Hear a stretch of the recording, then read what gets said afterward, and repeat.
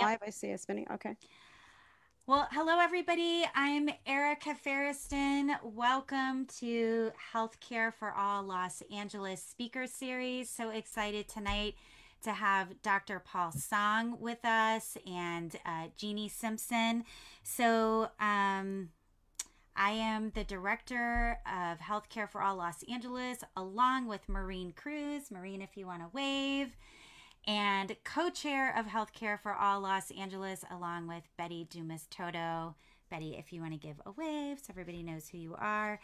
Um, and so, um, Healthcare for All Los Angeles is a local chapter of Healthcare for All California, a statewide organization dedicated to achieving a comprehensive universal healthcare system through single payer public financing.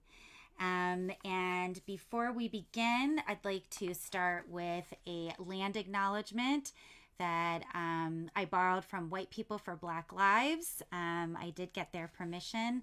Um, great organization if you want to check it out. And so we acknowledge the Tongva peoples as the traditional caretakers of the land we currently reside on. That is the Los Angeles Basin and the Southern Channel Islands. We seek to honor the land and the courageous people who have been its stewards, modeling a tradition of resistance, seeking liberation. We pay our respects to ancestors, elders, and relations past, present, and emerging. And if you are outside the greater Los Angeles area, welcome. So glad you're tuning in. You can find out whose land you are on by going to native land.ca. All right, and tonight we are talking about why the public option is no option. Um, and we have with us Dr. Paul Song. Um, Dr. Song is the president of Physicians for a National Health Program California and was a national surrogate for the 2016 and 2020 Bernie Sanders campaign. He served as the very first visiting fellow on healthcare policy in the California Department of Insurance in 2013. Along with serving on the National Board of Physicians for a National Health Program, he also serves on Center for Health and Democracy and Progressive Democrats of America. And with that, Dr. Paul Song, take it away. Well, thank you so much uh, for having me. And I just want to thank all of you guys for your continued work and for being sort of the consciousness of our entire state and beyond, um, and just holding everyone's feet to the fire, including mine. So thank you very much. Um, with that, I'm just going to go ahead and, and start. And again, I'll make these slides available to any of you who want them. Um, really, I think what happened was lately we had seen some people running for office here in California and beyond who um, we had thought were staunch single payer supporters, only to say that they uh, would very much support a public option. And I think it got a lot of us thinking, did the really people know what was so harmful about advocating for that. And so I wanted to really, again, reiterate what um, is wrong with our broken healthcare system and why a public option really simply doesn't address that. So this is a picture of President Obama signing the Affordable Care Act into law in March of 2010. It's hard to believe it's been over 11 years now. And in some way, it's affected all of us one way or another. Uh, some people on this call may have uh, qualified uh, for Medicaid under the expansion. Uh, some people who are on Medicare may have gotten uh, more coverage for Part D or their drug uh, prescription drugs. some of you may um, have gotten a subsidy to purchase coverage under exchange, or some of you may have been covered with because you had reached your lifetime cap or were excluded because of pre-existing conditions. So the Affordable Care Act did do a lot of good things but as we all know, it, it's woefully incomplete. Uh, and just to show you that in the run up to the Affordable Care Act, the Lancet, which is a highly reputable medical journal, dedicated one full issue to why we couldn't get healthcare right in the United States. And it said the healthcare reform process exposes how corporate influence renders the US government incapable of making policy on the basis of evidence and the public interest. And essentially there were 3,300 registered healthcare lobbyists for the 535 members of Congress. They were spending more, more than $1.2 million a day. And in total, more was spent lobbying Congress than was spent on the entire Bush Kerry presidential election. And as a result, we have no public option.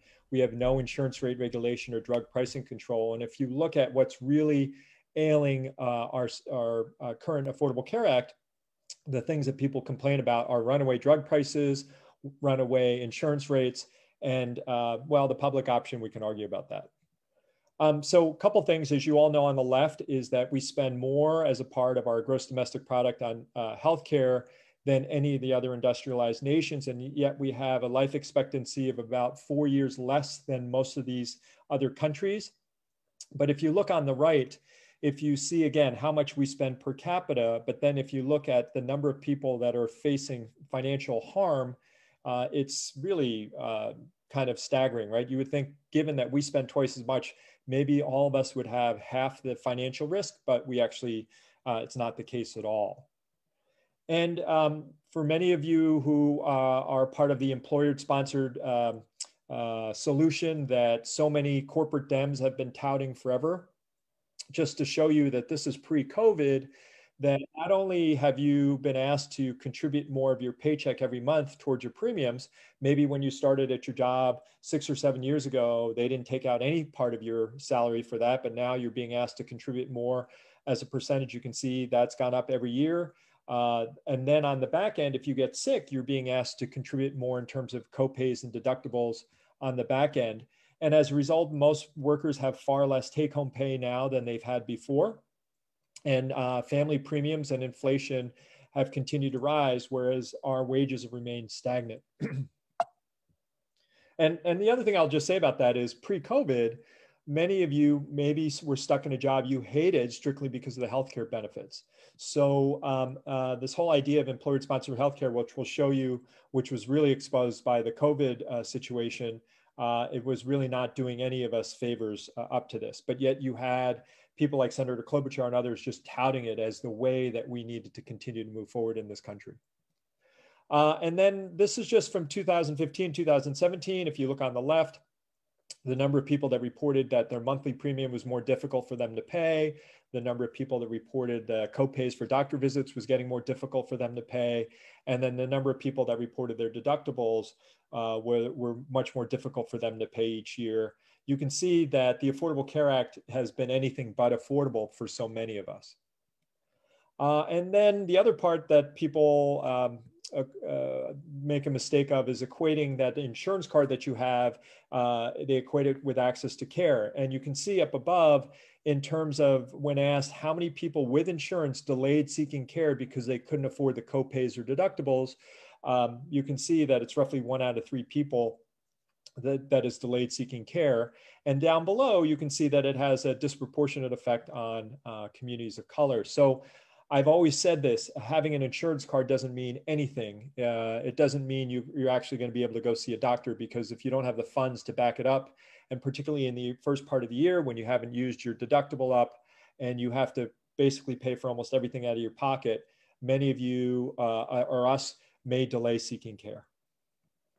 Uh, and let's not forget, because we did not put in any prescription drug pricing controls, that in 2017, 45 million Americans reported that they did not fill a prescription due to costs, and that roughly one out of five seniors does not uh, fill a prescription because, again, of costs.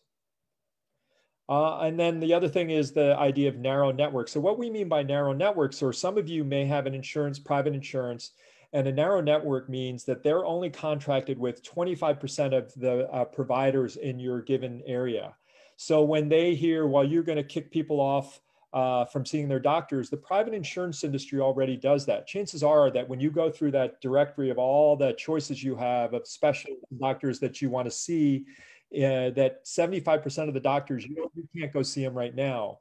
So again, this is another myth that we need to be aware of that it's already a, a lack of choice that we have in our current for-profit system. So this is our complicated system, right? Some of you maybe had United Healthcare a few years ago, then you changed jobs or you lost your job and maybe you were put into Medicaid, or maybe your job, your employer then switched to an HMO. Um, maybe it was uh, Aetna, then the next year is Blue Cross. And then when you go to a doctor or a hospital, they've got to figure out, well, am I still in your network? What's your copay? What's your deductible? And rather than actually spending time taking care of you, they're spending a lot more money hiring staff to basically sort out this mess of a complicated system. And if you look above from 1970 to 2015, this shows you the growth in the number of physicians, which is the green line. But if you look above the growth in terms of case managers, um, administrators for uh, the uh, administration of our healthcare system, it's exploded. And down below, if you look at the curves, what do you see that in 19, roughly 90, when you saw this explosion of healthcare administrators, it was also coincided with the privatization of Medicare, as well as it caused a, a much higher increase in the cost of private insurance and out of pocket costs. So as a result, we actually spend more of our administrative budget uh, of, of, every dollar that's spent on healthcare than any other industrialized nation. And so we're very inefficient for this. And, and it's gotten so bad that hospitals like Duke University actually have more uh, medical billing clerks than they do hospital beds to deal with all of the complexity of our healthcare system. And again, these are instead of uh, adding more ICU beds or improving the infrastructure of the hospital, they're having to hire more and more people to basically fight with insurance companies to deal with claims. And it's gotten so bad that a lot of hospitals are spending roughly a quarter of their budget on administrative costs. But here's another part. Uh, United States, we, we spend so much on administrative costs, but we spend very little on long-term health care, uh, long-term health, right? So as we get an aging population, as some of you may have uh, parents who are dealing with maybe Alzheimer's now or some other chronic uh, illness and they have to get into long-term care, uh, a lot of families are having to bear the majority of the burden with somebody that's been in a long time. And this is just to show you that all the money we're spending on administrative costs, we're spending so little uh, compared to our other industrialized nations in terms of long-term care. So one of the things we could do is if we could simplify our administrative uh, system, perhaps we'd have a lot more money to also put towards long-term care. And it's no wonder that we're considered to have one of the least efficient healthcare systems in the world. And on the right is the Bloomberg World Rankings of healthcare systems. And you can see we're not even on that list.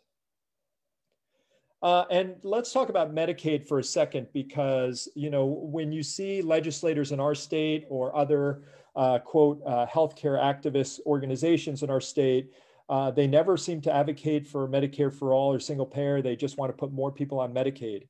And these are actually um, headlines that emerged over the last six months in the LA Times. They've been doing some really great stories on how the healthcare uh, safety net, which is Medi-Cal in our state, has really failed people. So one is that it is a separate and unequal healthcare system. I would even argue it's quite racist, and I'll show you some data why. Uh, then the, recently, the uh, LA Times highlighted several people uh, that had to wait a long, long time and died actually waiting for timely care. Uh, and then uh, particularly in the poorest neighborhoods, a lot of these patients never even get to see a specialist in that period of time. So let me show you some things. So this was uh, a study that was done, um, and they found that nearly three quarters of the 73 uh, low uh, income Americans are on Medicaid, but they're in some managed care. And under the system, keeping patients as healthy, healthy as possible is one way to make money. The other way is to skimp on services. And what we found is with the continuous privatization of Medicaid and Medi-Cal, it's really skimped on services and reimbursement. And as a result, fewer and fewer patients really get access to the care that they need. And this is just showing you above, take three hospitals in the Los Angeles area. There's MLK, Ronald Reagan UCLA, and Cedars-Sinai. You can see that, first of all, the percent uh, people of color, 94% at MLK, 36% at Cedars-Sinai. Uh, you can also see that um, despite the fact that Cedars-Sinai has 58% percent uh, in their quote catchment area, people of color, they only treat 36%. And then look down below in terms of meaningful community benefit spending, not billboards or sponsoring the LA Dodgers or all those other things, but actually taking care of uh, uncompensated care. Cedars-Sinai only gives a paltry 1.1%. uh, uh, UCLA gives 0.6%, MLK gives 5.6%. But down, down below, look at the percentage of Medicaid patients as a total share of their revenue. Cedars-Sinai only, only 10%, and MLK 75%. So it's no wonder these hospitals, when they were faced with the pandemic of COVID, why MLK Hospital and a lot of hospitals in the uh, uh, disadvantaged communities didn't have enough ICU beds, didn't have enough equipment, ventilators, because they couldn't afford it, because they're treating all the patients that Cedars and others refuse, and they get diverted back to these um, uh, communities of color. And then this is just showing you some uh, uh, examples of patients waiting months for care. This was an initial referral in March of 2015. Um, 16 days after the initial referral, they get the diagnostic test, but they didn't then get the actual care they needed for 234 days. And this patient ended up dying. Here's another one. Uh, this was a Vietnamese woman that uh, waited 99 days to actually see a neurosurgeon because, again, so few doctors will take Medi-Cal. And then 312 later, days after the diagnosis, was able to then finally get surgery. So it's no wonder that MALDEF sued the state of California, claiming that a Medi-Cal in our state was a separate and unequal system and inherently racist. It finally was able to move forward. Um, so eh, they, they filed it in 2017. The state fought tooth and nail, but now a judge ruled that indeed this lawsuit can move forward.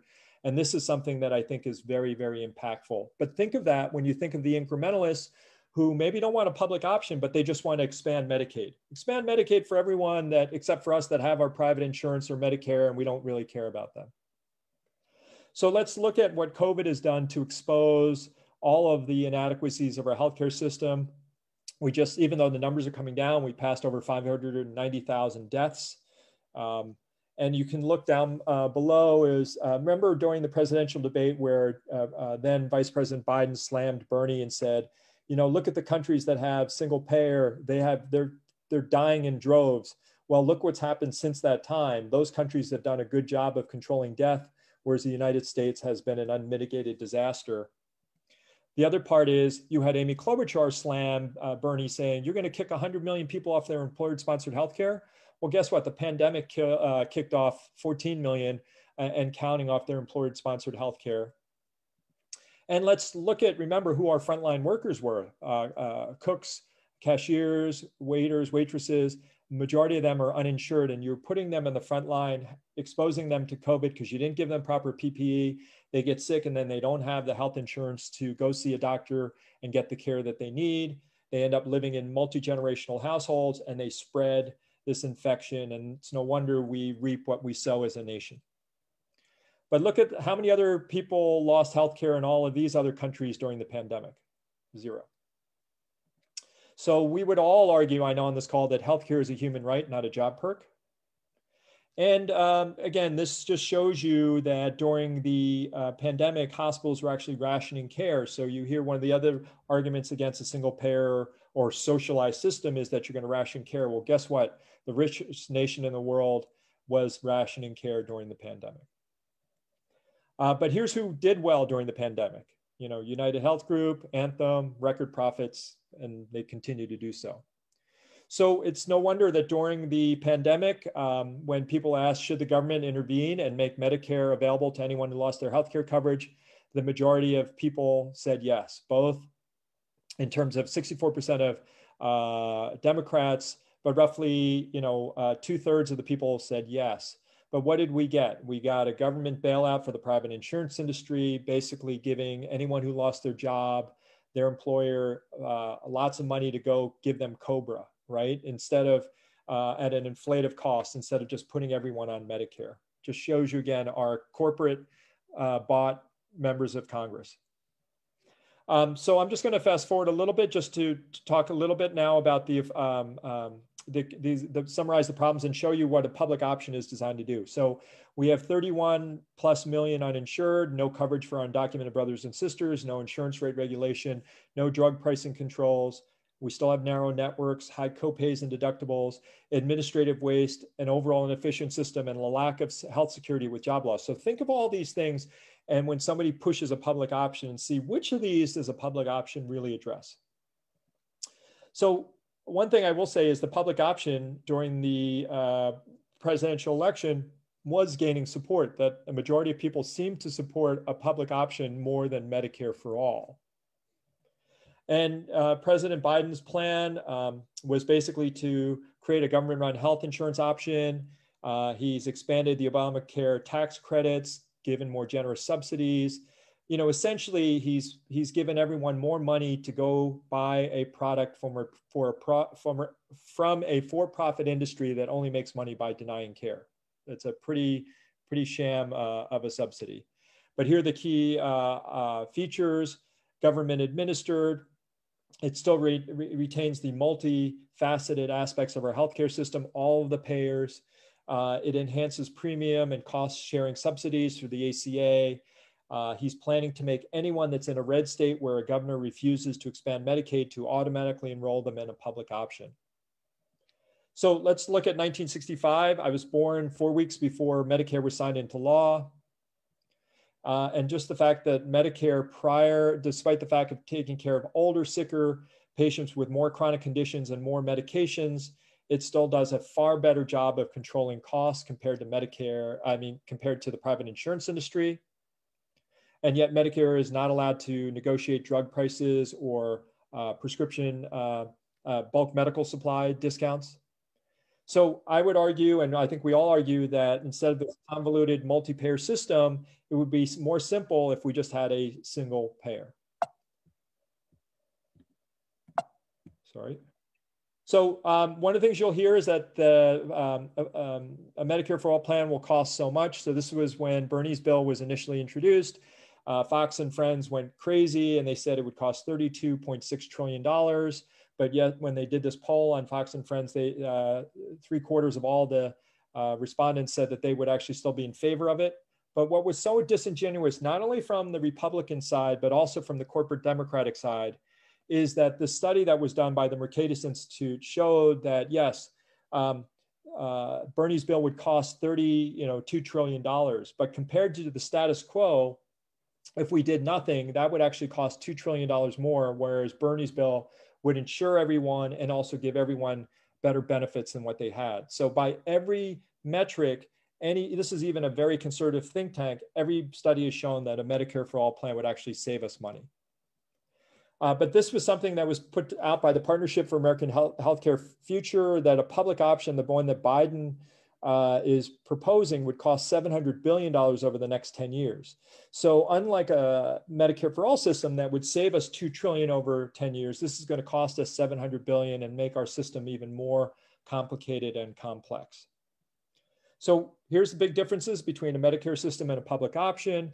Uh, as we all know, Medicare for all would cover everyone.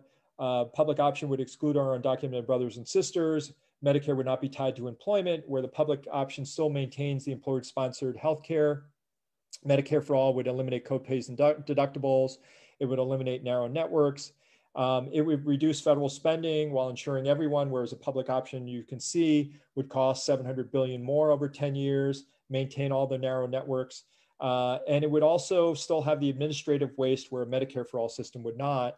And we would be able to negotiate drug discounts for a Medicare for all system Whereas a public option, even if some of the private insurers do negotiate drug discounts, they don't pass it on to their uh, enrollees. Um, and just to, it's now been five years since I made my fateful speech in New York, um, and where I use this um, uh, insensitive term to refer to legislators that are bought and owned by the private insurance industry and the pharmaceutical industry. But just to show you what's happened since I gave that talk, is to show you that of the 130 Democrats who are not backing Medicare for all, they've received $43 million from the pharma and insurance industry during this period of time. And then uh, you would think that the Partnership for America's Healthcare Future would be happy that they defeated Medicare for all, but no, these greedy bastards want to keep uh, everybody down, and now they're trying to oppose the public option. And they're all made up of former uh, Clinton aides and uh, Democratic congressional aides. So um, this is this is what I meant. So uh, for any of you that were offended by the term, I'm, I apologize for that. But I do believe you all should be more offended by these people that claim to be on our side. Uh, and they said that within 24 hours of launch of the industry's new ads, uh, this was during the uh, Democratic National Convention, um, Democratic congressional uh, sources were telling the Hill that Democrats were most likely going to table the public option. Have you guys heard anything about it since Biden's taken office? So, so this is where we are. That all that we were told we were going to get um, already, we have forces that are influencing our Democratic House so that they're never going to even bring this up. Um, so finally, I'm just going to say that um, you know, Shirley Chisholm is somebody that's near and dear to my family. She said, We have never seen health as a right. It has been conceived as a privilege available only to those who can afford it. This is the real reason the American healthcare system is in such a scandalous state. And she ran under the mantra of being unbought and unbossed. And we have far too many legislators in Sacramento, in Los Angeles, in, uh, in our country that are bought and bossed.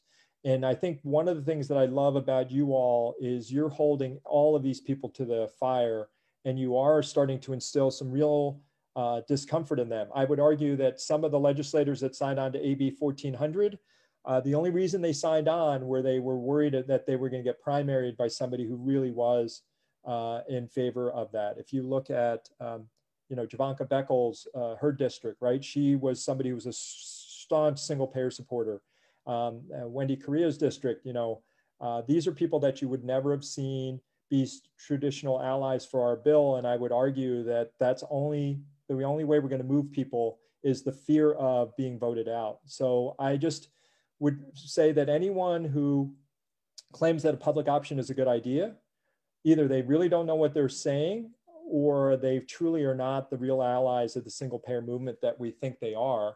And I think it's important for you all to learn and spread the facts about why a public option is not. I, I, would say all of you probably do know this, but I do think it's very important that you all continue to um, spread the, the word on, on why a Medicare for all system it makes the most sense, why a single payer system here in the state of California makes the most sense, and really hold people accountable when they make statements that are simply not rooted in fact.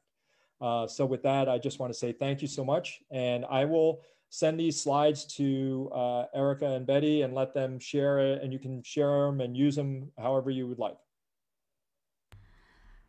Thank you so much, Dr. Song, um, for all the great work you do, for coming on here tonight and giving this presentation. It's so important. I, you know, as an activist, I get so frustrated with, um, with those in power uh, using public option and single payer interchangeably. Um, the cynical side of me uh, feels that they're co opting the language and doing it uh, purposefully. And, um, and then there's a part of me that says, well, maybe they just need to come here and listen to Dr. Paul Song. So, of course, you know, I invited all of the state of California to attend tonight. Um, and just so appreciate um, the way you you speak truth and stand in truth and um, just big fans of course. So um, with that we're going to open it up to question and answer if you're okay with that. Um, and gina do we have any questions from facebook? If you're on facebook go ahead and type your question into the uh, comments and Gina Harris. If you want to wave your hand, Gina. Gina is our Facebook moderator. She will ask your questions. And if you are on Zoom, you can drop your question into the chat or to me, Erica, and I will ask your questions on Zoom. So, Gina, any questions?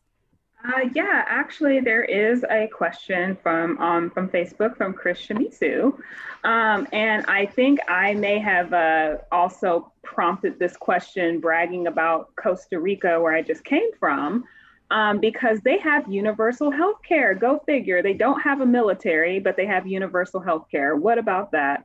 Um, and so, what I realized about their system when I looked into it was that they have a public system uh, for the coast citizens of Costa Rica with a private option, which seems to be the opposite of what is being promoted here in the US. And historically, actually, Costa Rica's healthcare system was actually better than ours, but I'm not going to go down there. So, Chris is asking, um, she just wants to know uh, the Costa Rica healthcare system versus the public option that moderate Dems keep proposing. Um, and I and Dr. Song, I don't know, you know, how much you know about the Costa Rica healthcare system, but it is universal healthcare. And so maybe if you could elaborate the difference between the universal healthcare systems versus the public option, um, which I think you did also did a good job. There was a slide you had that had showed, you know, kind of some differences there too. So um, thanks for the question. I, you know, I, I, don't really, in all honesty, know much about Costa Rica system, so I'm happy to defer to you on that. It's because they're um, so chill. Costa Rica just stays off the map. Like they just are chill, and I'm like, I love it.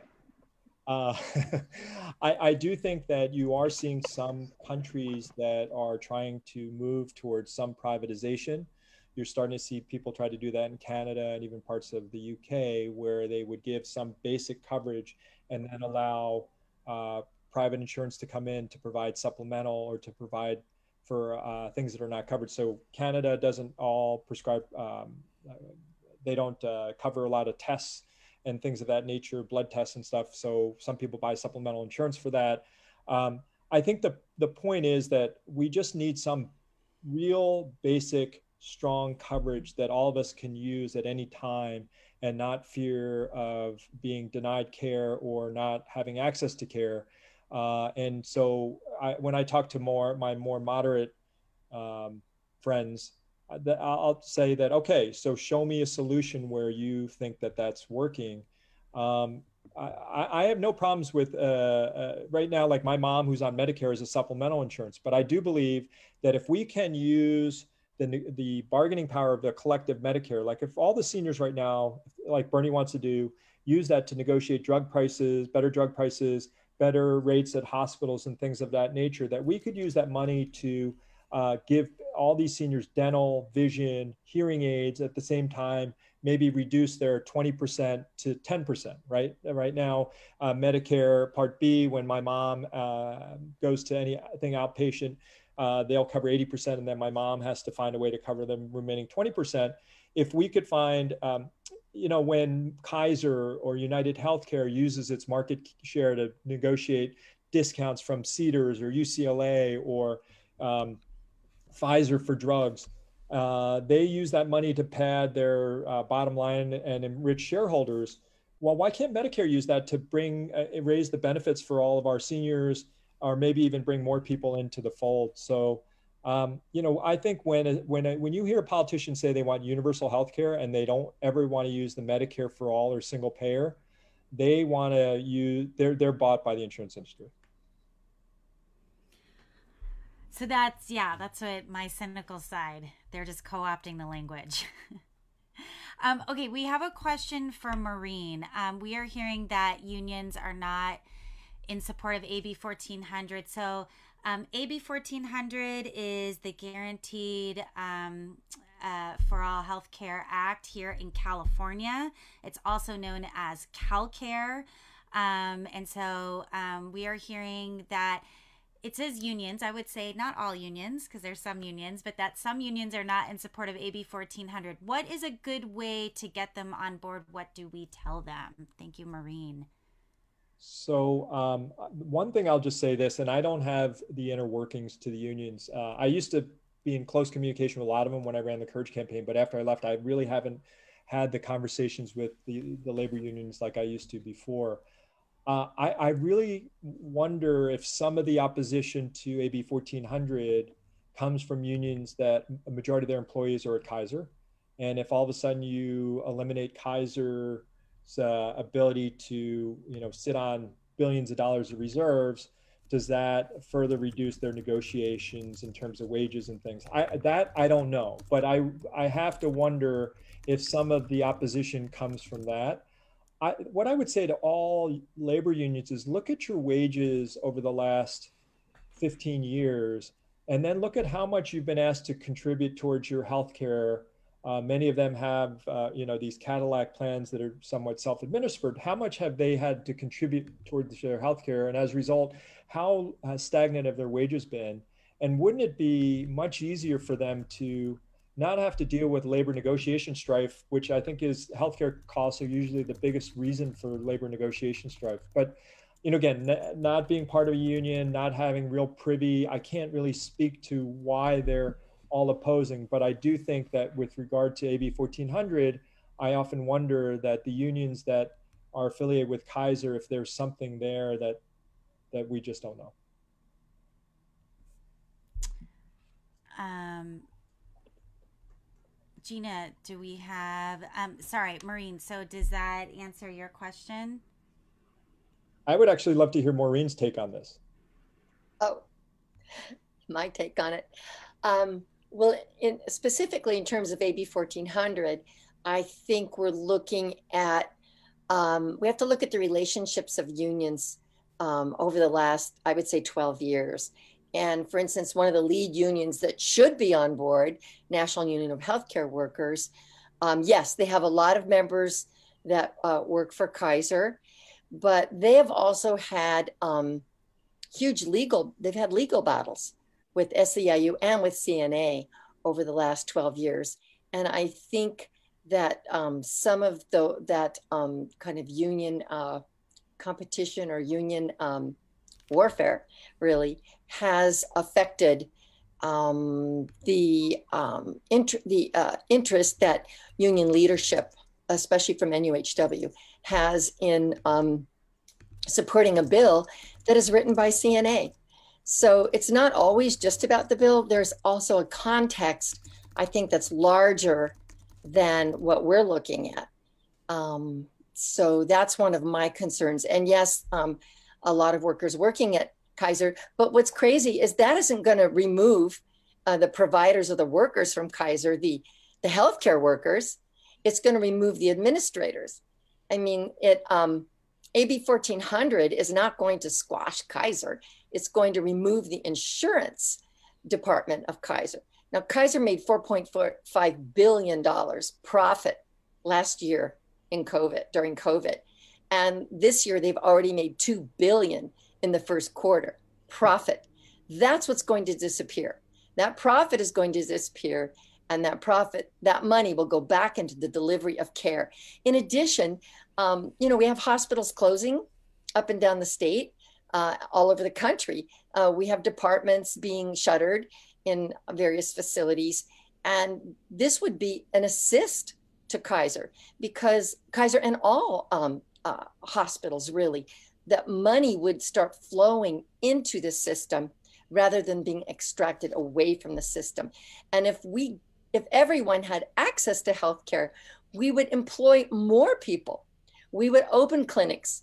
We would reopen hospitals. We would take care of rural areas and urban areas that are now really struggling um, with with these closures and with these bankruptcies due to the due to the um, caste system that we have, the medical apartheid, where we have, you know, bargain basement care for the poor and penthouse care for the rich, as as you showed us in your slides with Cedars and UCLA and Drew.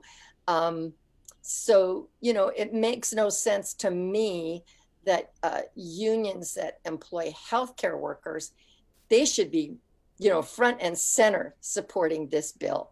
Um, and people who are concerned about keeping Kaiser healthy and thriving, they should be front and center supporting this bill because we're talking about an investment in providers and an investment in facilities, an investment in hospitals rather than extraction. So I really don't, when I look at the facts of AB 1400, I don't see any reason for the opposition um, when I stand back and look at 12 years of, say, lawsuits, CNA took NUHW to court in 2015. Um, that might have something to do with it. I don't know. But there has been um, on and off really bad relationships among the, the three major healthcare unions SEIU, um, NUHW, and CNA. And SEIU took NUHW to court in um, an arbitrate i mean sorry a uh, appeals court in 2000 in 2013 and nuhw was fined the leadership was fined a million and a half dollars um, uh, a federal judge found them guilty of a, a variety of uh, violations Thank so you. So But there, there's that, I- that issue. There's that I- issue. I think this would be a great thing for you all to try to have a, a, a special symposium on it because I remember during Prop 45 and we were trying to get support for insurance rate regulation here in the state that there were some unions, not the three that you mentioned, but some very powerful unions that came out and voted against it. And when I looked at their membership, majority of their membership were frontline workers who weren't getting health, great health insurance from their employers or had to fight for it. And yet they were against it. And then I, when I looked at, there's this inner, somebody sent me this link of like, um, Kaiser Partners, right, where they would get certain big organizations to be a partner organization, and they were listed there. And I'm like, this is, this is what the the complexity that they've all got their own separate vested side interests that are they're willing to throw their own members, uh, you know, to aside. And and and it'd be nice to be able to get former leaders of unions. So now that they're no longer running these unions and they are not uh, beholden to you know towing a company line to be able to come and speak frankly what it, what is it what's going on behind there? And i would love if you guys could put a program like that because that we need to know this as an organization. Why are so many uh, why is there this this disconnect with many uh, labor unions Thank I- you I so think you much. s- And I hold, Oh, I was Maureen, gonna I'm say, I gonna, think you summed it up. You summed it up in that leadership does not always represent membership. Right. And that's a problem in all organizations. Yes, exactly. I was thinking the same thing, just like So- we see here in the Democratic Party. Um, leadership is not the same as as the base, as the people. Um, Gina, you have a question in Facebook, and then I have one in uh, Zoom. Yeah, this and this is honestly one I uh, haven't seen any more questions pop up, but um, it's just from Lynn, um, and I am not going to butcher your last name, Lynn, but she is asking, um, can you repeat why Wendy Carrillo switched and had removed her name as a co-author of AB 1400? Um, her name still appears on the CalCare handouts.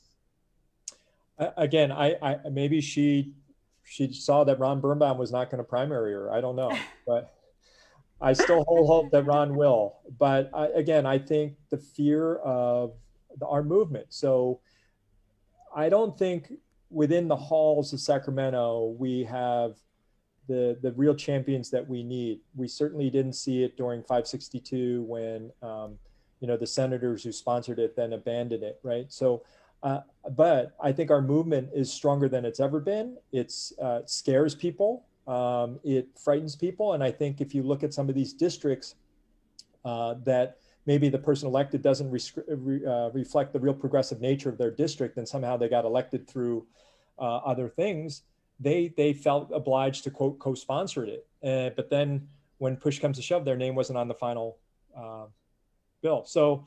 I, I think that's one of the things we need to do. We need to elect.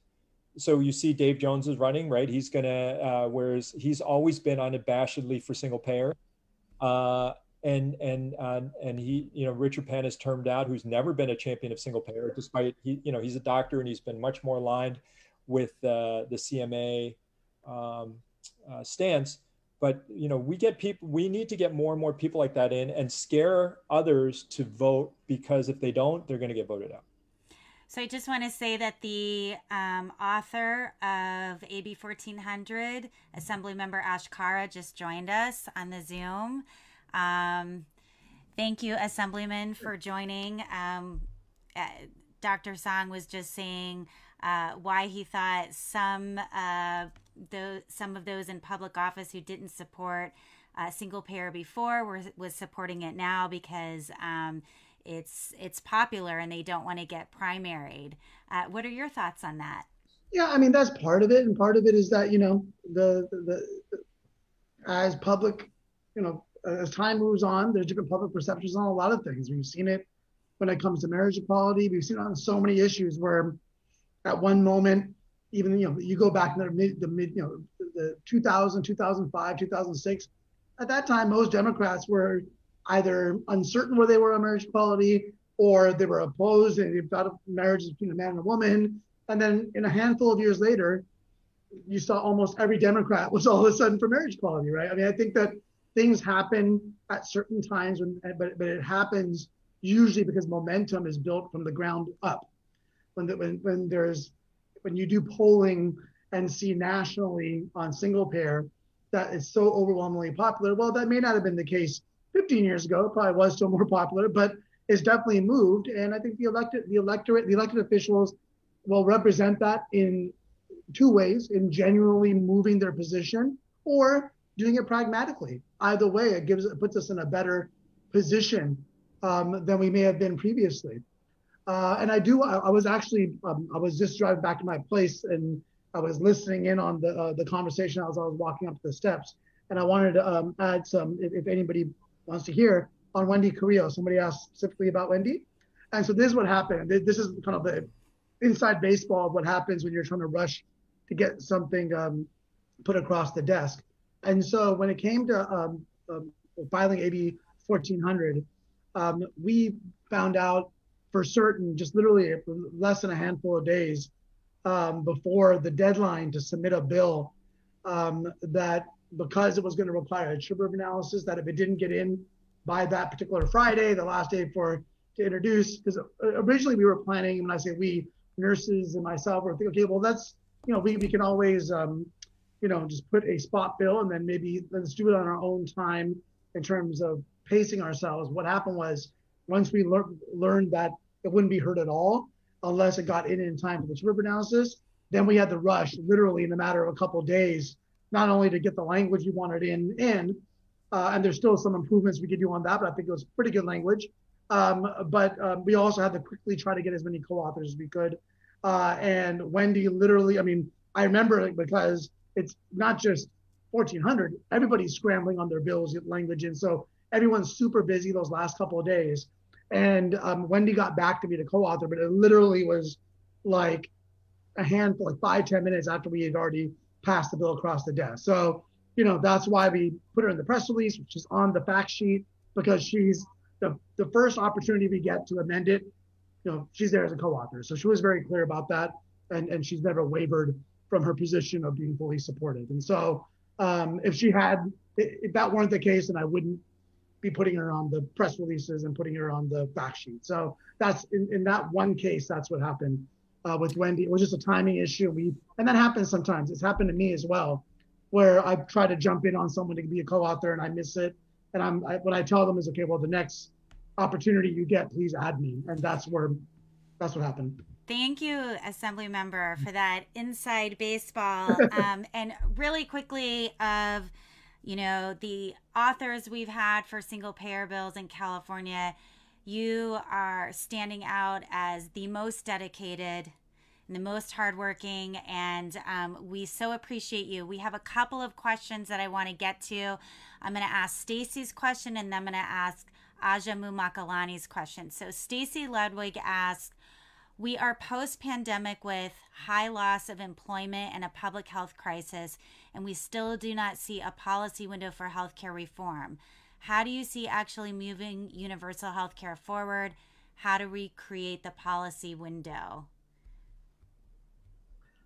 Well, well, first of all, I also want to thank you know uh, Dr. Song for not just being here, but he's been a champion advocating for single payer for so many, you know, for, for your career. I mean, as long as I've known you. So I appreciate you. And Erica, thank you also for always inviting me to these conversations. I appreciate it. I'll just say, look, you know, at the end of the day, if COVID is an exam, if COVID doesn't tell all of us we need single parent, I don't know what will. So, th- so if someone still doesn't support it, even after what we've seen this past year, then they're, they're likely never going to support it. But I, but, but it doesn't mean that, it doesn't mean we don't push folks. And so at the end of the day, whether we have a good economy or a bad, there's always going to be a reason not to do something. Oh, the economy's going really, really well. Let's not disrupt it. Or, oh, the economy's going really bad. And right now, let's just make sure people don't lose health insurance. Let's not focus on doing something too bold. So there's always going to be, I can make a justification as to why we shouldn't do single payer at any, any moment. And so let, us remember that when folks push back uh, uh, on, on doing it, saying this is not the right time, but they but they generally mean it's never the right time. And so we've got to convince enough folks that this is the right time. And I think that we have the best window to do it because of the COVID crisis, because we've seen what hap- was happened with Black and Latino life expectancy, because they were more likely to succumb to COVID. We've seen a, drama- a dramatic drop. That's not just because of COVID. It's because the underlying conditions that they were more likely to have because of our healthcare system.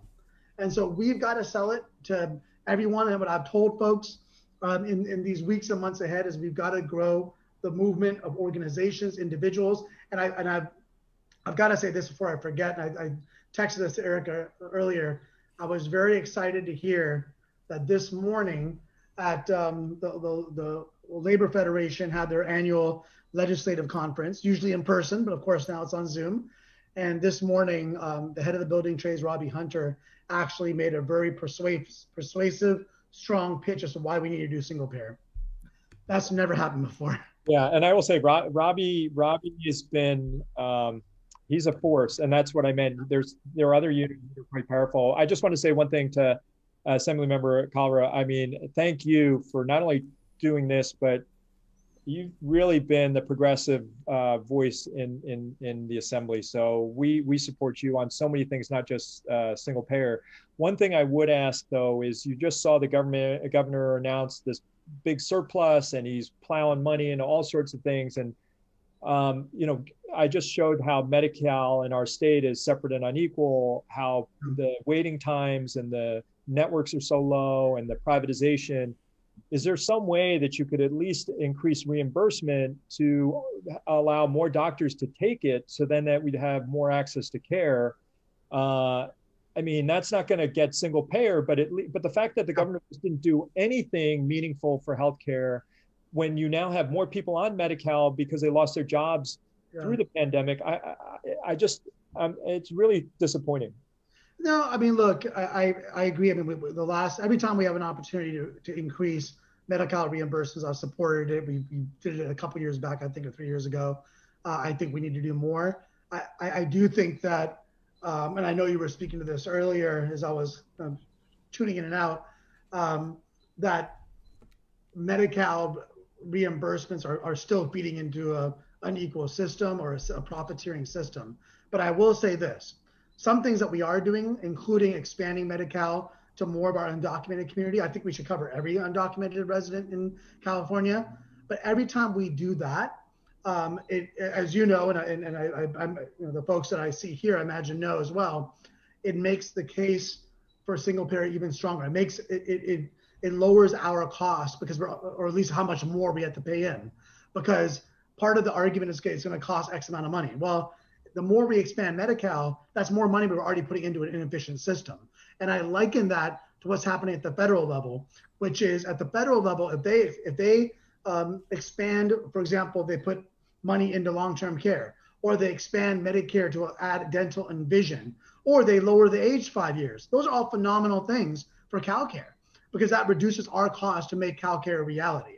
And so um, all these things are good things, and I agree 100%, Paul that there's more that we should do. As you know, that there's been a lot of advocates that have, have been disappointed that, we, that not enough has been put into public health, for example, and public health departments. After what we saw this last year, of all things, you would imagine that that's where we should be pumping in a whole lot of money is public health and public health departments that picked up the slack or at least tried to try to tread water during the uh, the COVID pandemic. And they're the ones that ultimately are going to keep people healthy in, during you know quote normal times as well. But I agree. I, I think we have to do more for Medi-Cal, especially in underserved communities, and that's why CalCare accounts for that um, in, in terms of underserved communities and rural communities.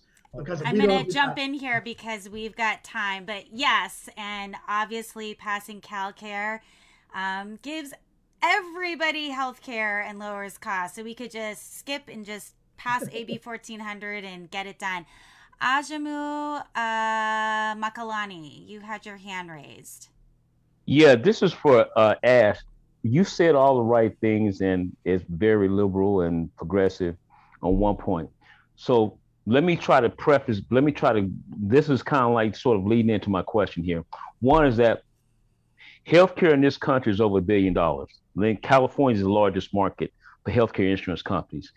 These companies are profit driven companies they will not relinquish health care to single payer without a fight because of the enormous profits that, that that that are being made.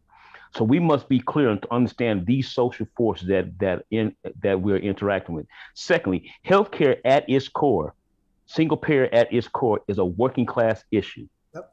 these healthcare companies give money to politicians in so many ways. These corporations funnel money to politicians. Now, let me ask you something, Ash. Can you say right now that you will not take campaign money from corporations, whether they are healthcare companies or corporations, from the 1%? Can you say that now? Well, I will tell you that out of 120 legislators, I'm one of only two that does not take corporate PAC money. Okay, so you you are saying literally now that you will not take money from from corporations from PAC money coming from the one percent. Is that clear? Are we clear? I have already pledged not to. Okay, all right. Because see, outside of that Ash, everything else is just talk, and we're we're really getting fed up that the liberal politicians give us say the right things, but at the same time too taking money from the one percent. All right. Um, I, I, I agree. Yeah, sorry. One thing about, you know, like I think if you look at Ash's words and actions, he is definitely not bought, uh, and I admire and respect him for that. One thing I'll just say with regard to Medi-Cal, if you are really trying to expand and include more of our undocumented brothers and sisters, which I'm in favor of, if you do not also increase the reimbursement and, and bring in the, and, and have more scrutiny over the private management companies, then you're basically going to just put more people into a system and not bring any more doctors or providers mm-hmm. in.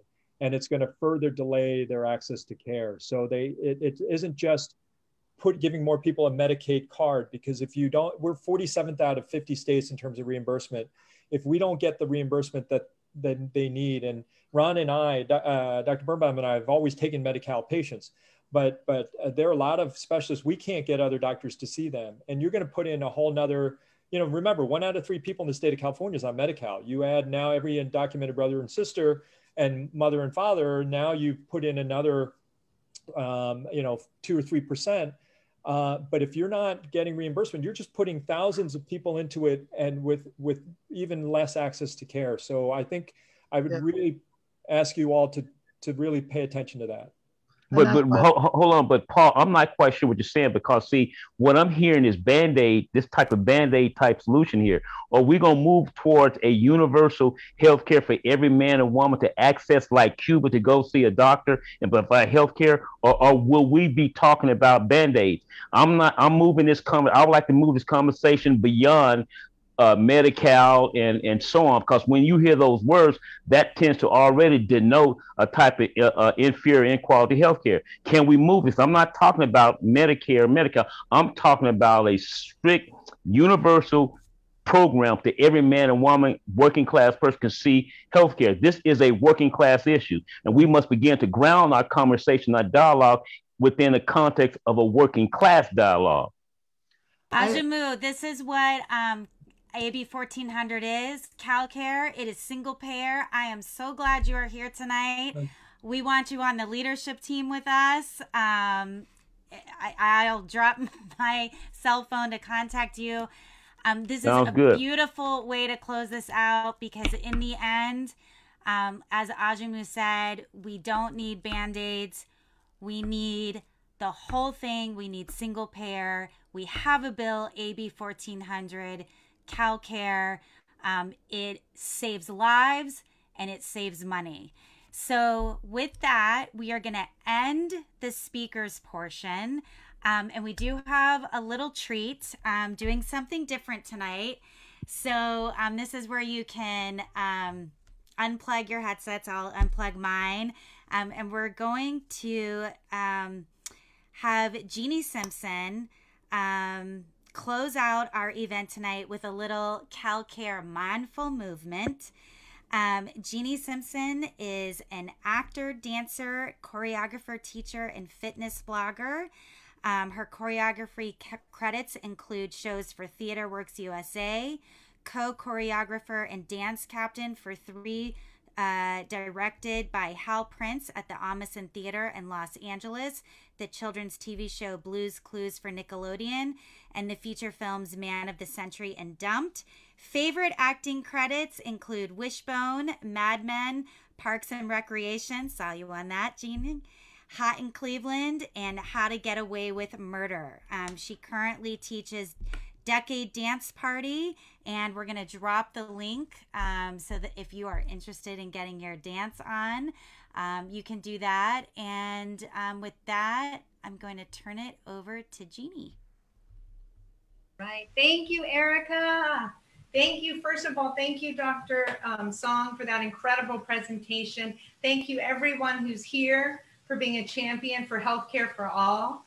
You inspire me, and uh, I'm so grateful for the work that you do every day, and I know how incredibly hard it is.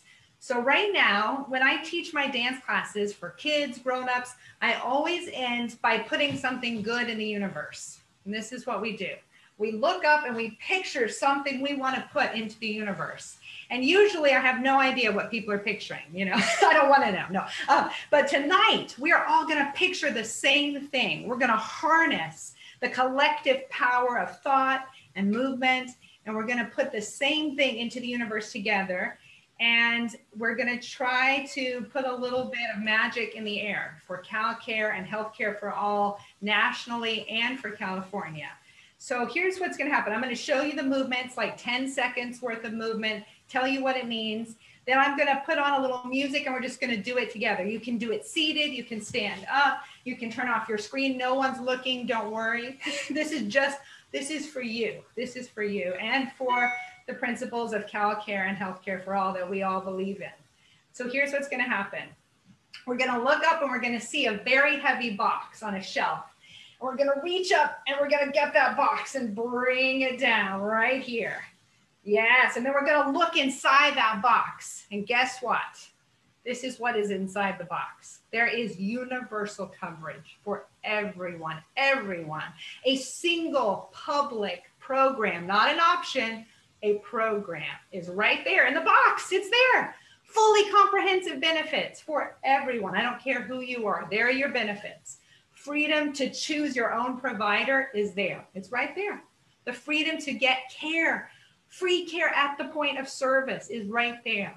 The, the just transition is sitting right there to help the people who were in the insurance business before we made it so much better. And last but not least, the most important thing to me is patient care based on patient need, whoever you are, whoever that patient is. So I want you to see all of that in this box. No wonder it was so heavy.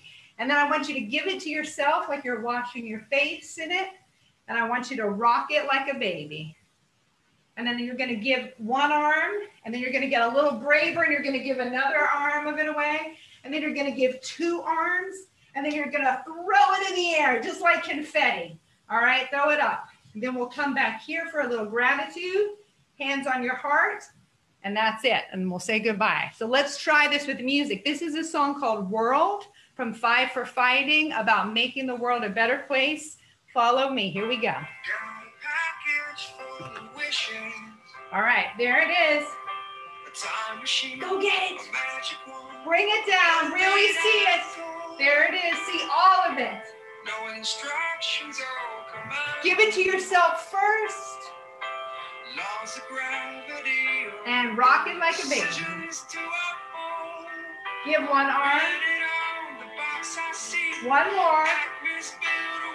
All right, get brave. Two arms. Open yourself up.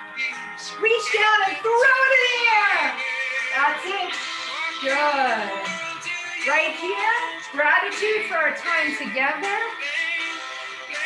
Hands on your heart, close your eyes. This is just for you, whatever you need, a moment for yourself. We're all champions. You work so hard. Give yourself some love. Good. Right here. One more time.